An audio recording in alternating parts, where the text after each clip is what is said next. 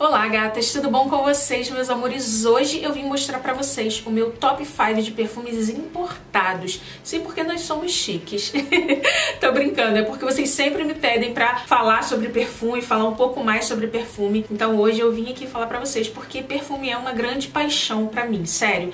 Eu não saio de casa sem passar perfume. Às vezes acontece de esquecer, né? Porque a gente tá na correria. Olha, quando eu lembro que eu esqueci de passar perfume, dá aquela dor no peito na rua. Meu Deus, esqueci de passar perfume. Eu sou dessas, gatas. O que que eu posso fazer? Eu sou dessas. então hoje eu vim compartilhar essa paixão que eu tenho de perfumes com vocês. Eu espero muito que vocês gostem. Se gostarem, por favor, não esqueça do meu joinha. Se inscreve também aqui no canal para você fazer parte da nossa família, para nossa família crescer. E me siga nas redes sociais, que é por lá que a gente fica mais pertinho. Como eu já falei para vocês aqui antes, não tem muitas novidades. Nossa, vocês nunca viram esses perfumes. Não, são perfumes que eu inclusive já falei várias vezes aqui no canal também, mas eu quis reunir os cinco que eu mais gosto. E eu tenho uma relação muito diferente com perfume, por isso que eu não mudo tanto, porque perfume para mim é algo mais profundo do que só um cheirinho bom. Os perfumes marcam muito certas épocas da minha vida. Então sentir esses cheirinhos é como se eu revivesse esses momentos. Então eu tenho muita dificuldade de trocar. Eu posso acumular, agora trocar eu nunca troco. Eu particularmente gosto de perfumes mais florais, mas eu já usei de todos os tipos. Tem outros cítricos e doces que eu gosto também, mas a minha fragrância preferida, que tem mais a ver comigo, são as fragrâncias florais. Então chega de conversa que eu vou mostrar pra vocês os meus queridinhos. Vem comigo! Então,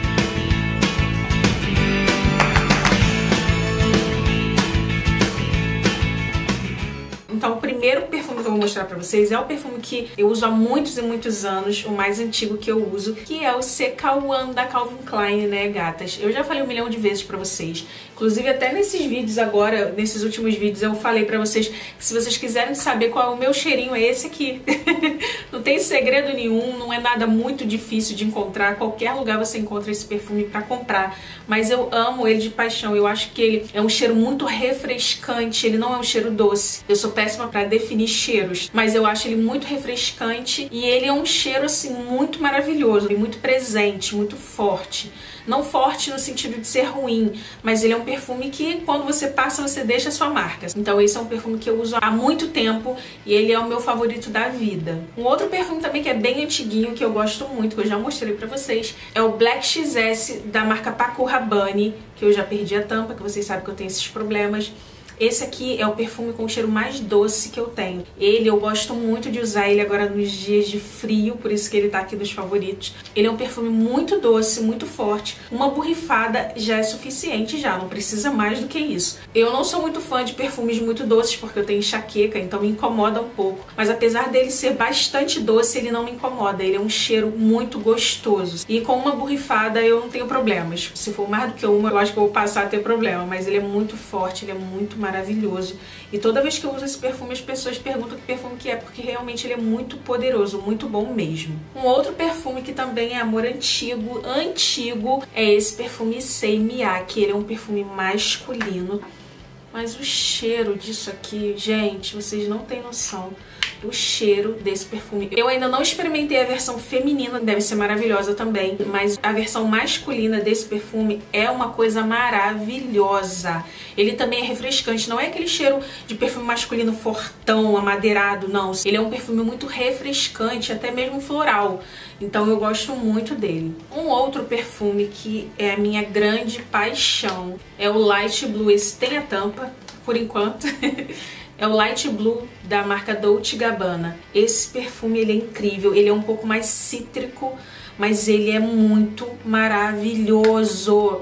Gente, esse cheiro aqui é muito maravilhoso, muito, muito, muito. Eu amo de paixão esse perfume. Eu não vivo sem ele, ele é muito incrível, muito incrível. Ele é um perfume que você aplica de manhã, você passa o dia inteiro com ele e ele não é enjoativo, ele não te incomoda, ele é um cheiro muito refrescante, muito marcante também.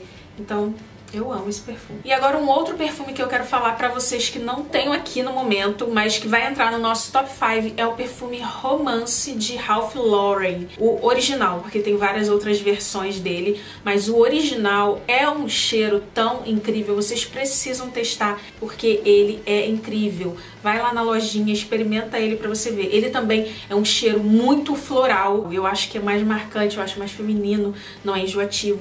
E esse Romance, ele é um pouquinho pouquinho doce, assim, mas bem de levinho, mas ele é mais floral do que doce. E é um perfume que ganhou meu coração, assim, mesmo que em foto, ele tinha que estar aqui presente no nosso top 5 de perfumes importados, tá bom, gatas? Então é isso, eu espero que vocês tenham gostado desse vídeo de hoje. Se você tem algum perfume importado muito gostoso, bem floral, bem refrescante, deixa aqui nos comentários que eu vou querer conhecer sim, porque esse é o meu tipo de perfume favorito, tá bom? Um super beijo no coração de vocês e eu aguardo vocês aqui amanhã nesse mesmo horário e nesse mesmo canal, tá?